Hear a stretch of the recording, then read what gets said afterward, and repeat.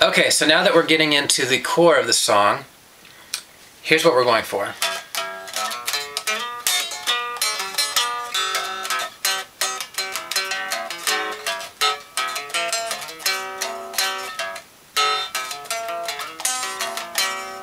I'm going to give you half of that. Here's what we're going to do.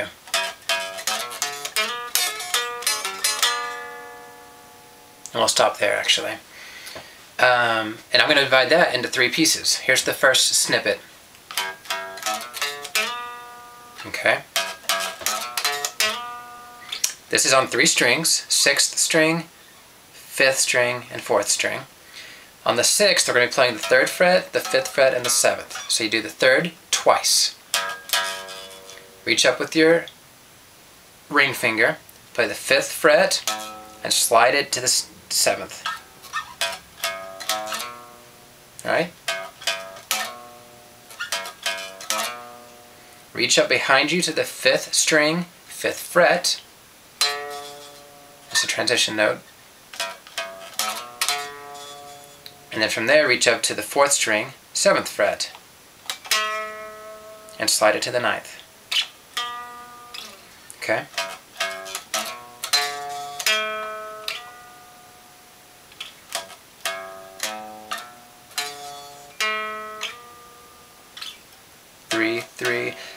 5, slide to 7, reach to 5, play the 7, and slide it to 9.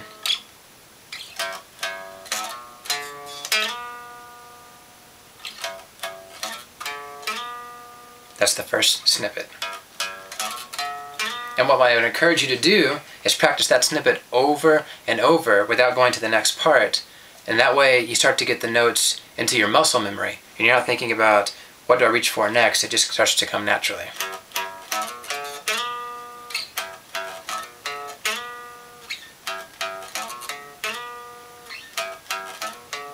And play it slow. Until you get it.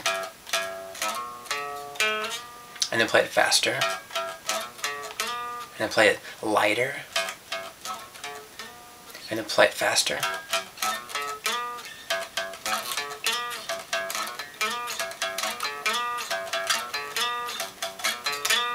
And then after a bit, you, are comfortable with it, and you can move on to the next snippet. Now the next, you want to plant your index finger on the 7th fret of the 2nd and 3rd strings.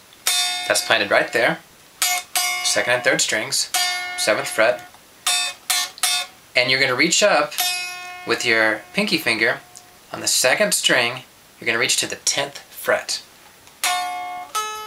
and then back off again. So 7, 10, 7. That's what you're going for. But instead of doing it staccato like that, you're going to just do a hammer on, pull off.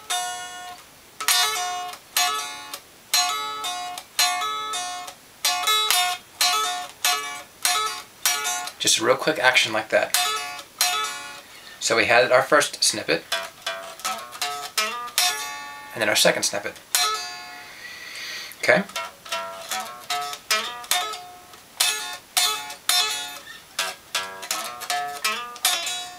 See, I messed up right there.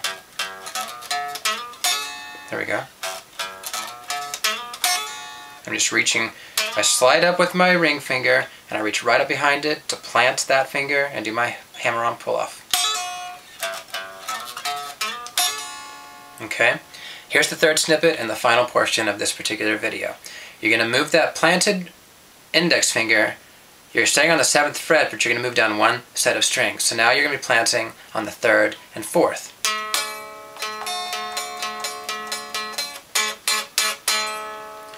And you're going to do a series of reaches right here on the fourth string and then on the fifth string. But you're going to keep this planted the whole time at the seventh fret, third and fourth string. You're going to come to here, and what that is, what you're hearing is the seventh, I'm sorry, the ninth fret on the fourth string, and that planted seventh on the third string that we planted a second ago. You're going to pull away this ring finger, which exposes that seventh fret that you planted earlier.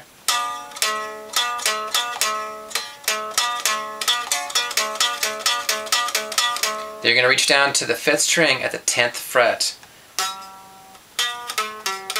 That's what we're going for right there. 7, I'm sorry, 9, 7, 10, 7, 9. Let me say that slower. 9, 7, 10, 7, 9. But the whole time, that note right there, which is the seventh fret of the third string, is ringing out.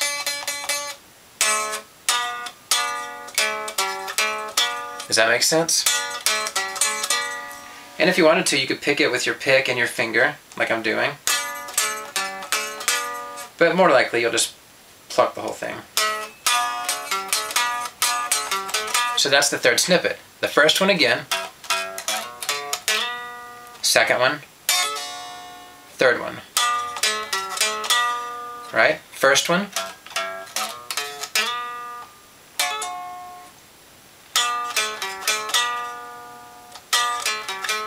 Let's do the second and third together. I'm sorry.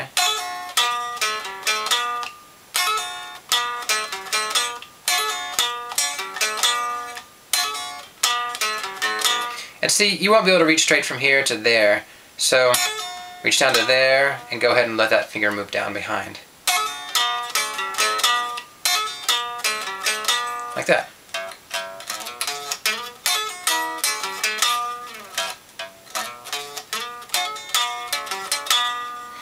That's the first section.